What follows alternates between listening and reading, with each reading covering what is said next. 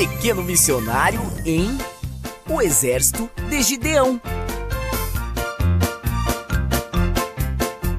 Então é isso. Vamos disputar o campinho na raça. Puxa, mas por que a gente não divide? Um dia jogo vocês e outro a gente.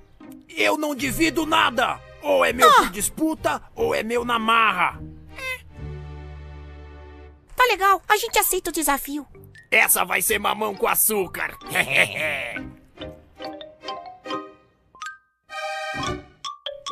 pessoal, a gente tem que escolher bem o time que vai encarar essa. Senão. Vamos ficar sem o campinho bem no mês de férias. Não, isso não. Nem pensar. Esse time tem que ser escolhido a dedo. É, mas quem vai ficar com a responsa de escolher?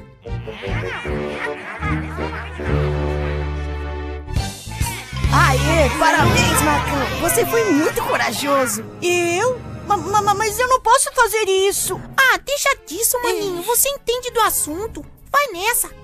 Mas é muita areia pro meu caminhãozinho. Ah, deixa de ser modesto. Bem, você só pode escolher 11 e temos 35 moleques aqui. Já tô dentro, né, Marcão? Não esquece daquele favorzão que eu te fiz mês passado, hein? Peraí, você sabe que eu sou melhor meia esquerda, né? Nada disso. Todo mundo sabe que eu sou melhor meia do que você, Juca. E comigo no ataque não tem pra ninguém. Fala aí.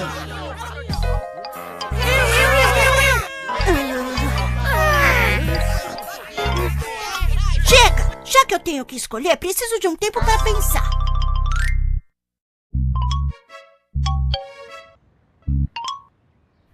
Ah. Senhor Jesus, me dá uma direção.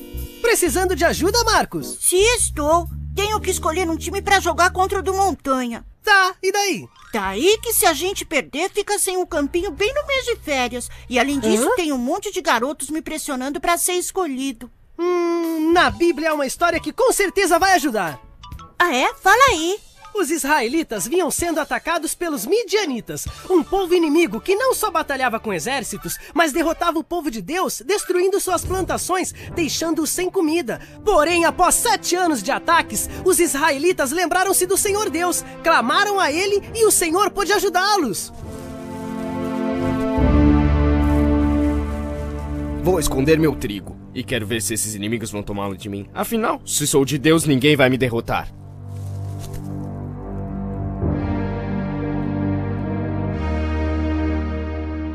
Não tenhas medo, o Senhor é contigo. Ele o encarrega de livrar Israel dos ataques midianitas. Eu, mas não sou nenhum herói. Como hei de libertar Israel? Com a minha ajuda, ficarei do teu lado o tempo todo, e tu derrotarás os inimigos com facilidade.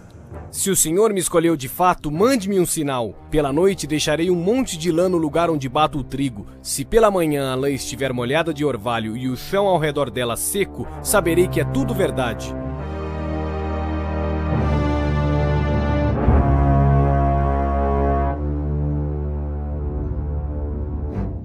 Oh, oh, está mesmo seco. Está mesmo encharcada. Perdoe-me, Senhor, mas ainda não estou certo de que sou mesmo o escolhido. Rogo-te que não te zangues comigo, mas peço só mais uma vez que me envie outro sinal. Desta vez, faça com que o chão fique molhado e a lã permaneça seca.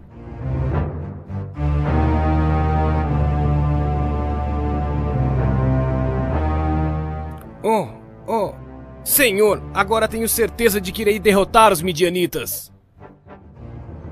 O Senhor me encarregou de livrar Israel dos midianitas, e como todos vocês ofereceram-se para lutar contra eles, teremos um exército muito forte. Teu exército Oh. é grande demais, Gideão.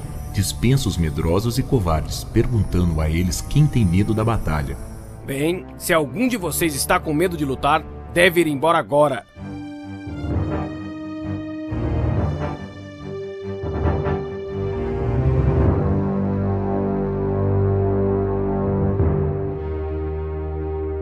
Incrível! De cada três homens, dois saíram. Bem, com estes dez mil homens e com a ajuda do Senhor, eu vencerei. O exército continua muito grande. Diga aos homens para que bebam a água na fonte e preste atenção neles. Agora, bebam água naquela fonte, soldados.